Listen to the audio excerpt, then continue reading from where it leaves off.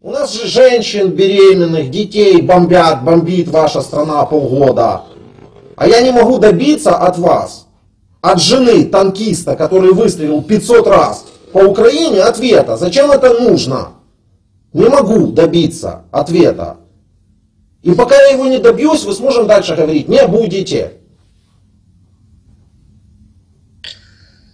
Андрюх, я люблю тебя.